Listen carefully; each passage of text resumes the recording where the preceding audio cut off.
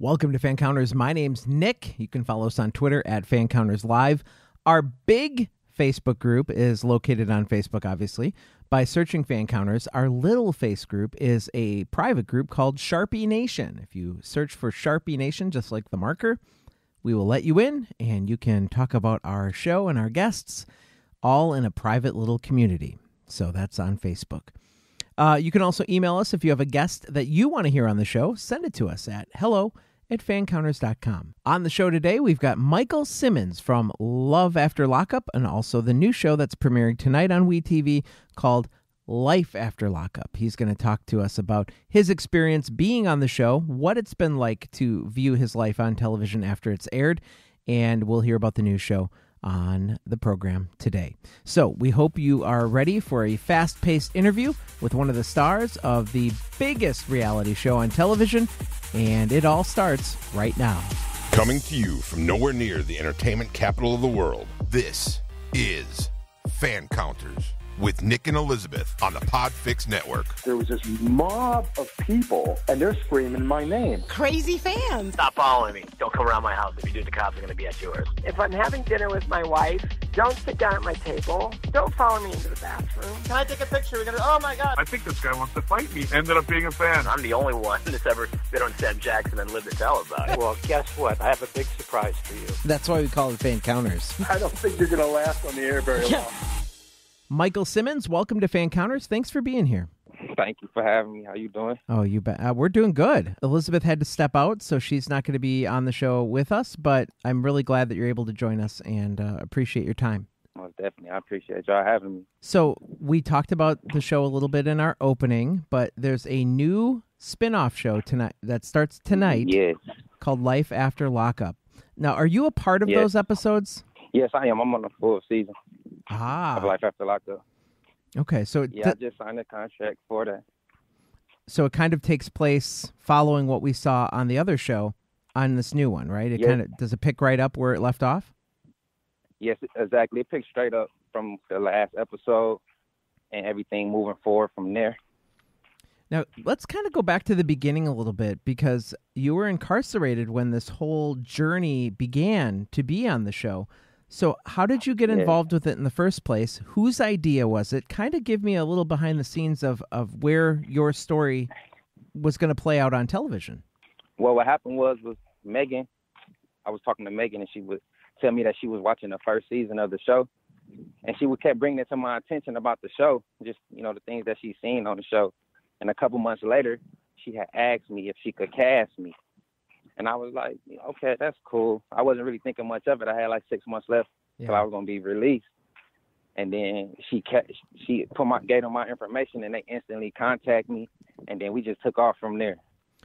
Now, did they know you were married as well? Is that what really captivated them, or, or had they not known that yet? No, initially, initially they didn't know that that I was married. You know, when they was uh, interested into me, all they all they had was that the the storyline of, you know, of their show.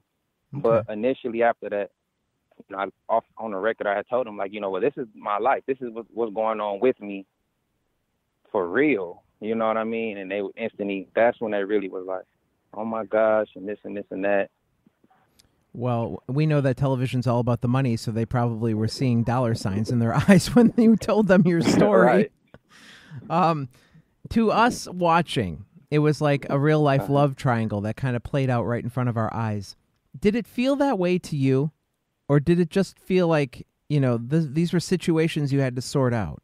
I felt like these were situations that I, I more or less had to sort out. You know, as, as you can see on the show, it had a lot to do with, you know, you know, emotions being tied in two separate directions, but you know, not taking my full emotions into consideration. You know, trying to please.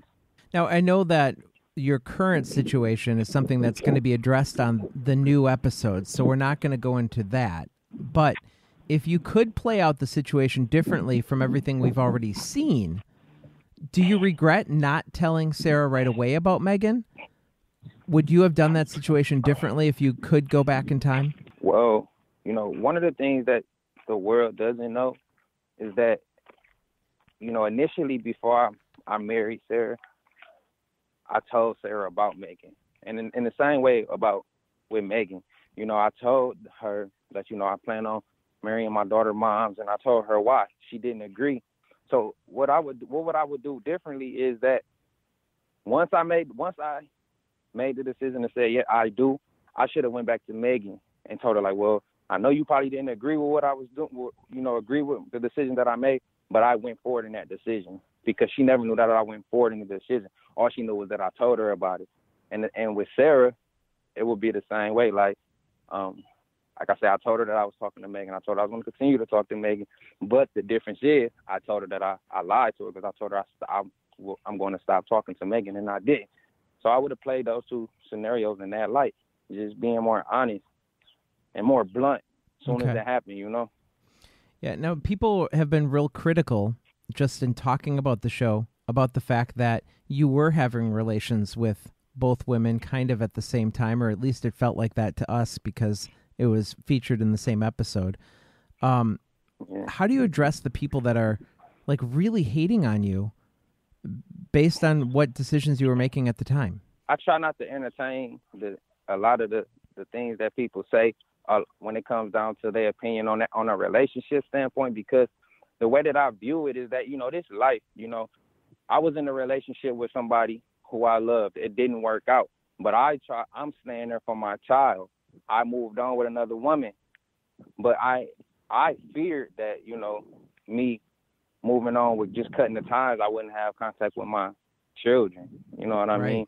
So it was more or less for me, it was the sacrifices that I was going to make. You know what I mean? I, I was going to be in an unhappy relationship and deal with whatever I had to deal with just to be with my children. And if and I feel like if people can't respect that, then I don't really know what to tell them because Mm-hmm. anybody who love love their kids or passionate about something, you know, that's what they going towards. They not trying to think about anything else. It'd be a lot of women and men in relationships and, and in my inbox and, and comments and you know they say different things, but at the end of the day, everybody going through these different type of things. They might not be going through the whole situation that I'm going through, but uh, you can't be no female on my page talking about I'm cheating on my girl when you cheating on your dude or you in my inbox trying to talk to me. Right. You know what I mean? Yep. So Well, I was going to say, I think that there are a lot of people who stay in relationships, maybe that they shouldn't, but they do it because they want to be near their kids, with their kids, and that kind of thing. So I think a lot of people can understand that part of it as well. When you look back at season two of the show that you were on, were you happy with how the story was being portrayed? Are there details that we still uh. don't know, maybe that we're going to find out? When you say was I happy what, afterwards or during? Well, like when you're watching the show, are you like, oh, that that's not really how that happened, or Oh. I wish they wouldn't have portrayed it like that? Yeah, you know, it, it's a couple different scenes and different things that I wish wasn't portrayed in that light because that's not how it, it was. But the reality of it was was that um, this is what happened, but it may not happen this way, and that and and, it, and some of that stuff came back on me.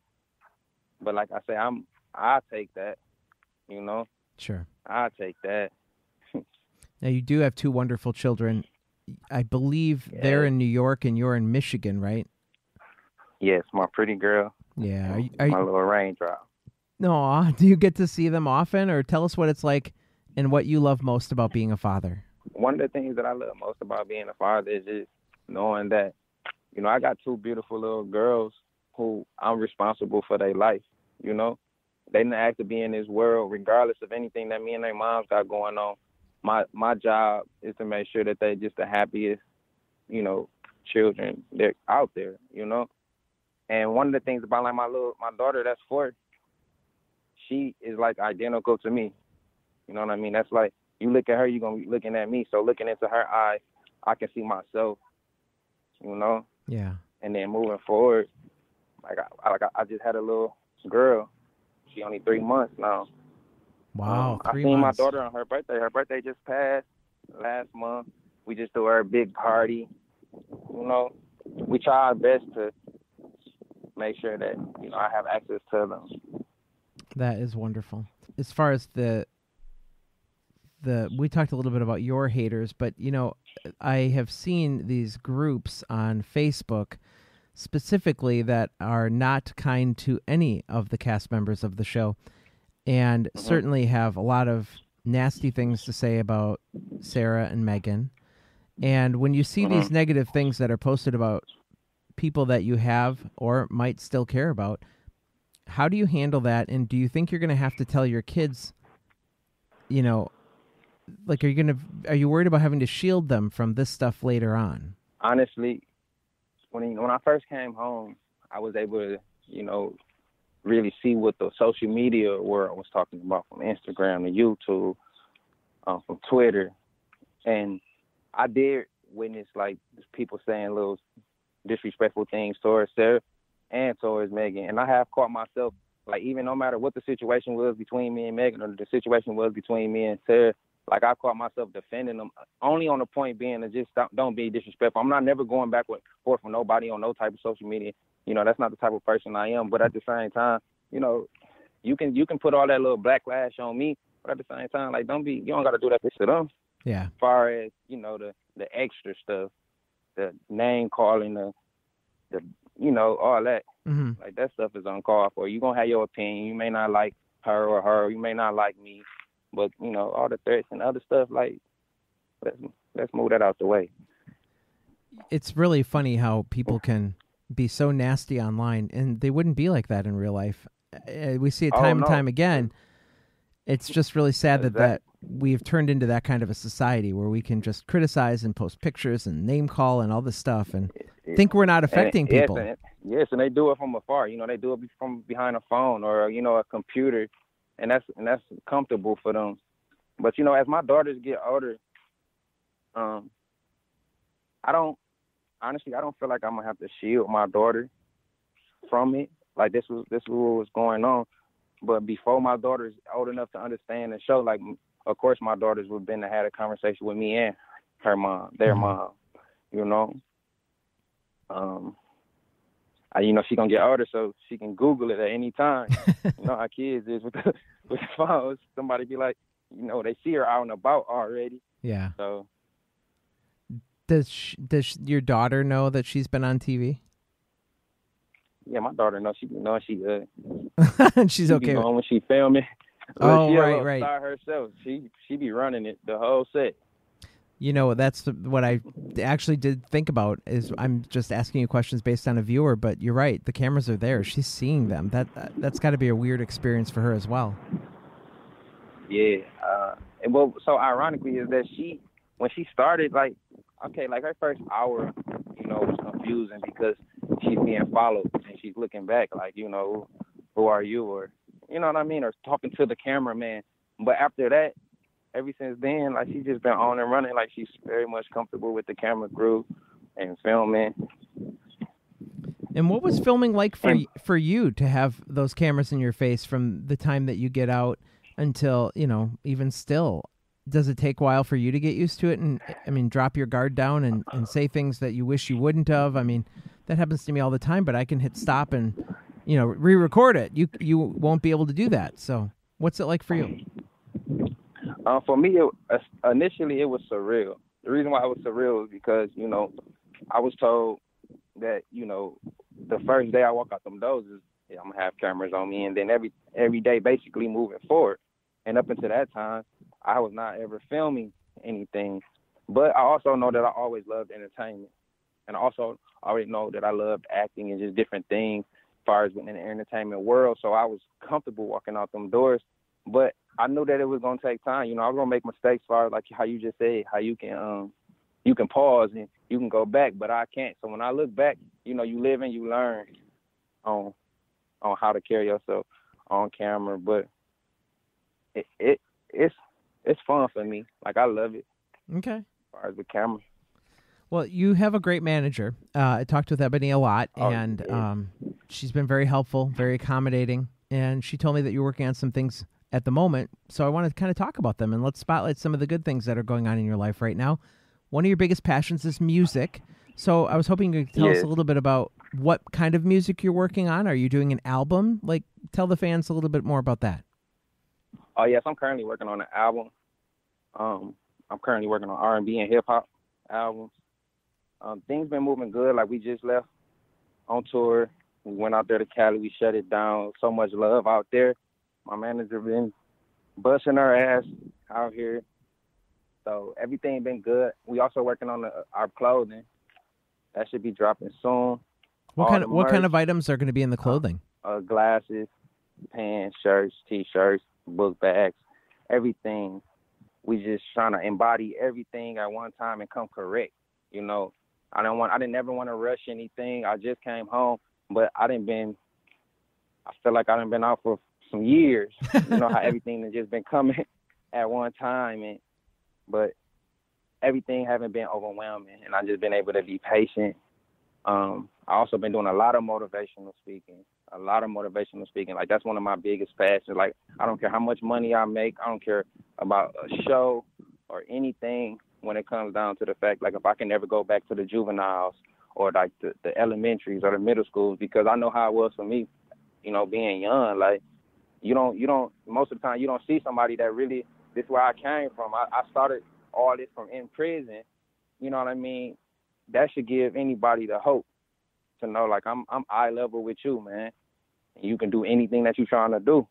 Period. Because I didn't been uh, even though I didn't been on We TV, we me and my manager we done been elevating in, in other directions that doesn't even didn't have anything to do with We TV. You know? Yeah. So, what kind of groups So- have you found most easy to talk to that you've spoken in front of so far? What kind of audiences? I would say like the fifth and sixth graders. Okay. Them was the most easiest. Like I went out there to um elementary Notorious Notorious Notorious I'm pronouncing it pronunciating it wrong. But I went out there to the elementary in, in, in Cali and like they had a they field day. They was on their last days of school. They had a picnic. And I was just able to out there to just interact with them. You know what I mean? Go race them, go play football with them, go talk to them, walk you know what I mean? Yeah. them them is the ones that I I relate to more. Now when you were younger, six, seven, eight, nine years old, like I can talk to you and I don't mind because, like I said, I was I was your age too. But you know, as far as them comprehending some things is a different story. What's the theme Um, of your message, though? Is it more about avoiding mistakes, or like what are you telling them? My whole theme is is that is is your emotions. You know, I, I really feel like when you a kid, you go through so much stuff at home. You go through so much things that don't have anything to do with school or anything with, to do with a social life. But the things that you go through personally within yourself at home, that's you carry that throughout everything else. That that dictates your attitude. You know that that dictate why you're not listening to this teacher right now, or that dictate why you being distracted right now.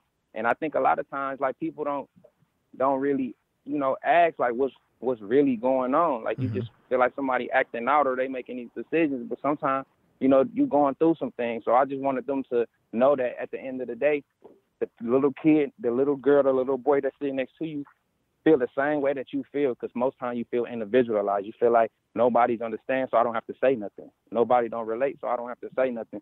And I really wanted to tap into that. Did you have feelings like that growing up? That Yes, that, that you had to deal with? yes.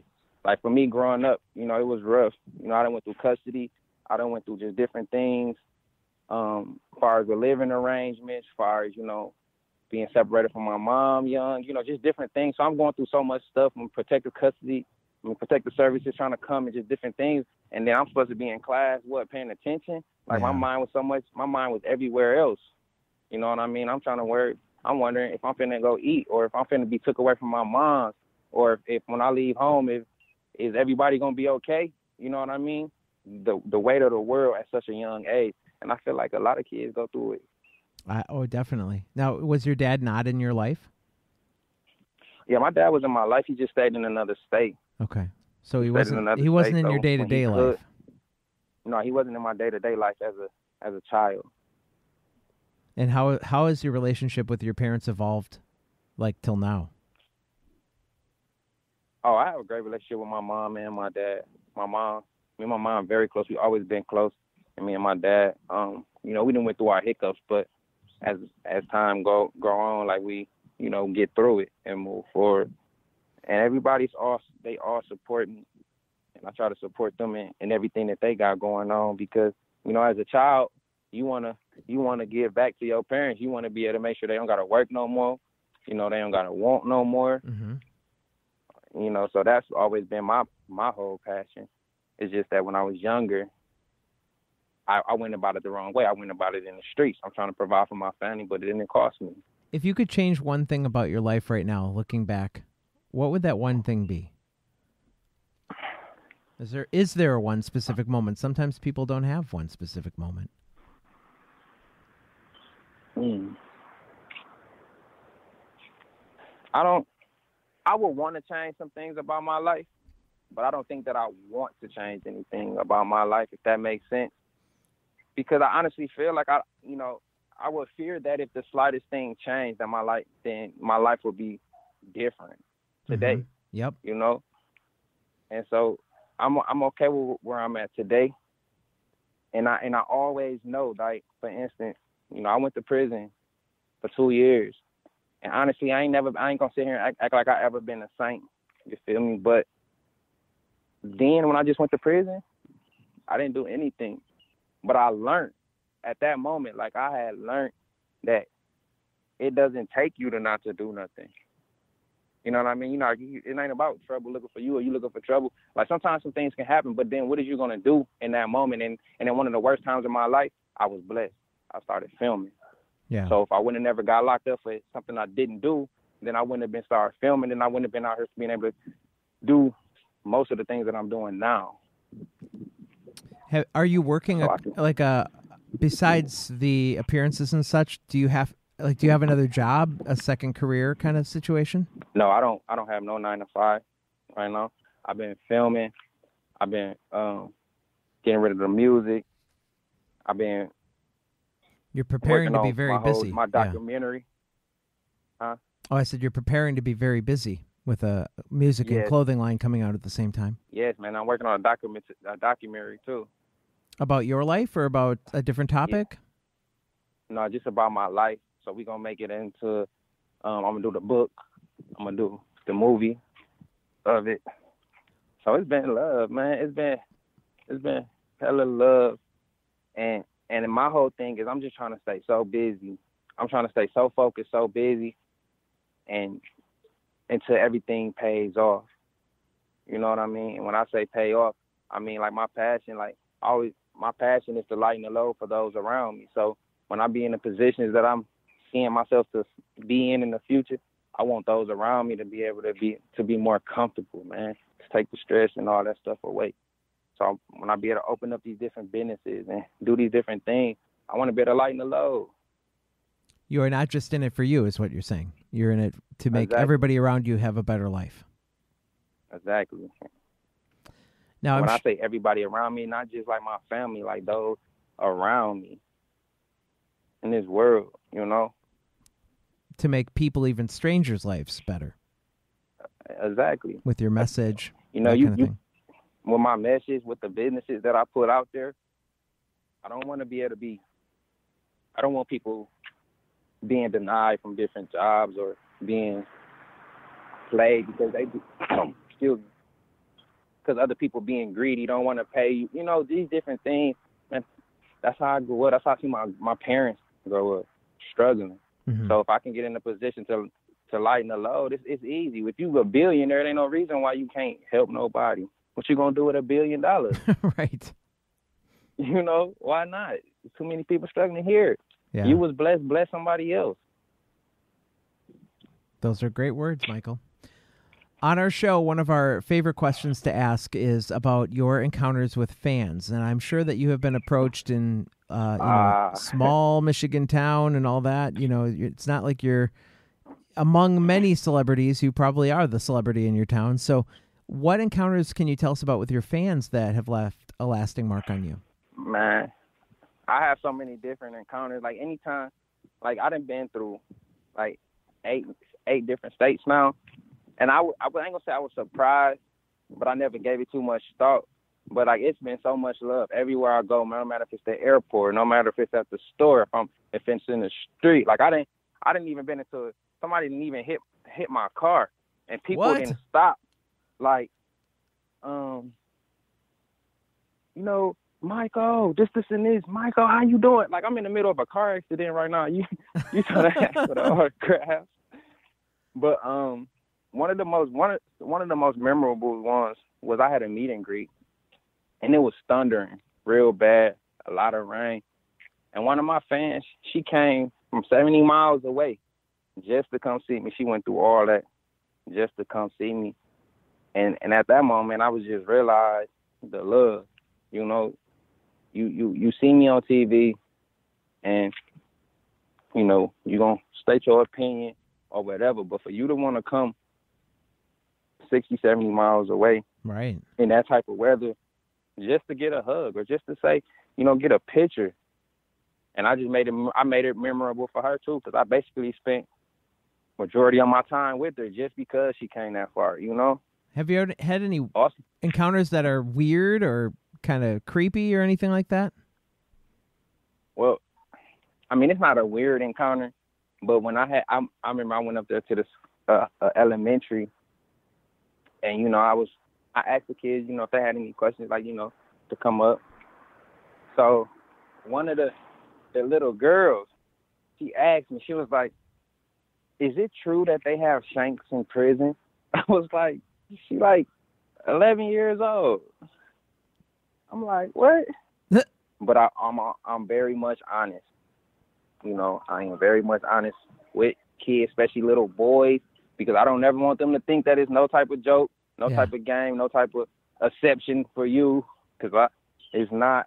But overall, those type. Oh, when I came from uh, Atlanta, I was in the airport, and it was like ten females that was on a girls trip, and I was in line trying to get my flights in order, Uh huh. and then I heard a, I heard somebody call my name, but they yelled it, and then when I looked around, I guess they were trying to see if I if it was really me. Sure.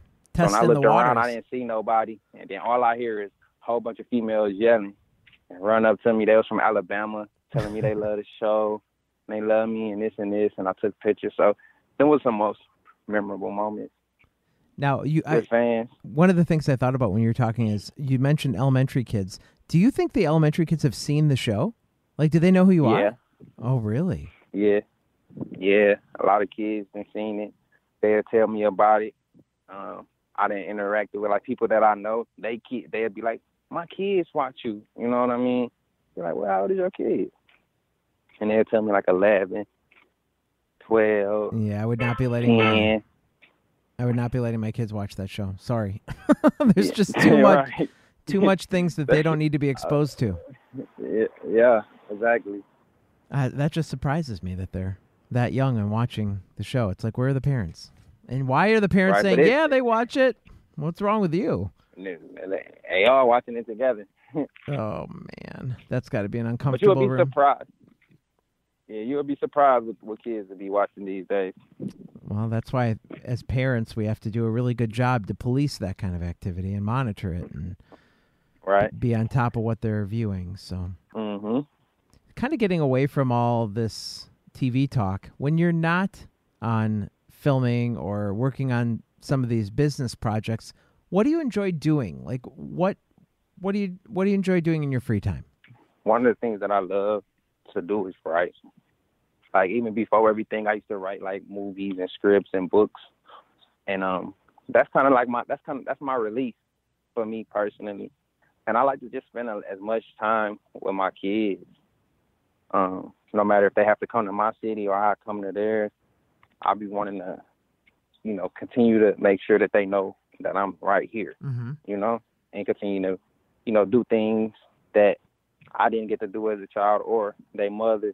Or you may catch me, um, you know, in the gym playing basketball. That's another release for me. Are you currently writing your book? Because you mentioned the book earlier, uh, and now that I learned you're a writer, are you working on that currently? Well, I'm I have somebody else working on my documentary my documentary Mm-hmm. with me, as far as with the book, as far as with the movie.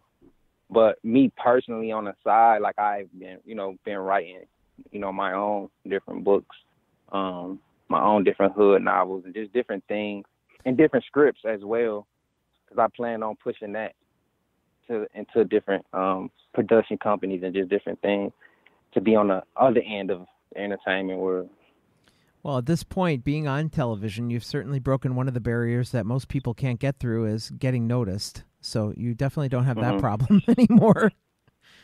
Yeah. Yeah, it's, um, like I say, it's it's, it's surreal, but like it, it's something that I always wanted. You know what I mean? It's just the decisions that I made kept costing me to be in jail, so I could never be, you know, being trying to be the best version of myself. But like you just said, um, being able to have your foot in the door, that's that was like the biggest thing. Like you have to have your foot in the door, and I and that's what I wanted to do. I wanted to, I was confident enough that if I put my foot in the door, then I could take off from there with anything else that I want to do. Yeah, and you know, if things cost you in the short term, it sounds like they're going to pay off in the long term with cha- changing the mindsets of young people and influencing those to not make same mistakes you did. I think that's wonderful, Michael. So I congratulate you on that. Yes, I appreciate it. I appreciate it.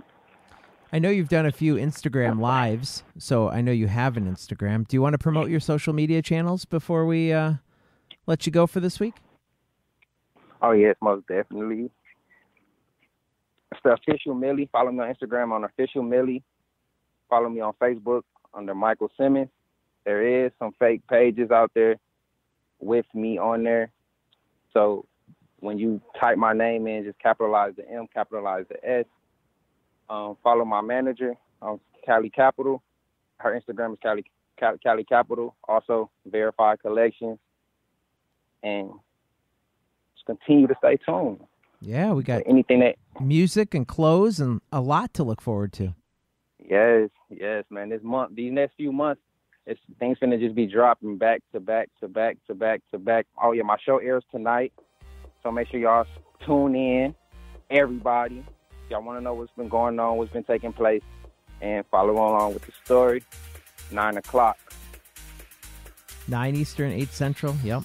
Um, now I want to know: Are you going to come back here in six weeks, whenever this show's over? I think I heard it was six weeks. I don't know, but uh, can we get an update from you then? Oh yes, most definitely. I most definitely will be back with full update. Because I always back lo- vibing with you. Yeah, I always love going back to the cast afterwards. In fact, I don't know if you've heard, but Lizzie from the same season was on the show, and she's also doing an update show with us once that uh, conclusion of episodes airs. So um, this is That's the place. This is the place to be if you want to get.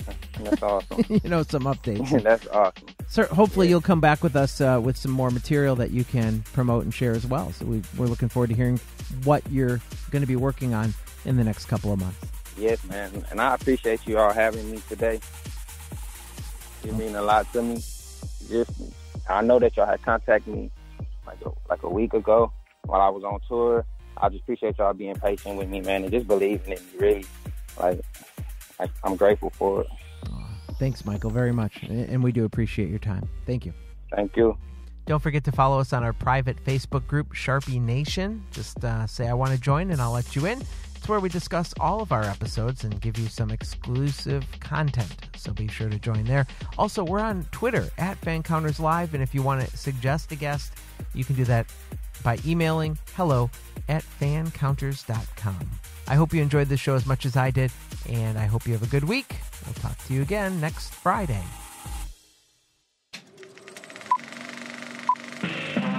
This was a podcast from the Podfix Network. You can check out more shows like it at podfixnetwork.com.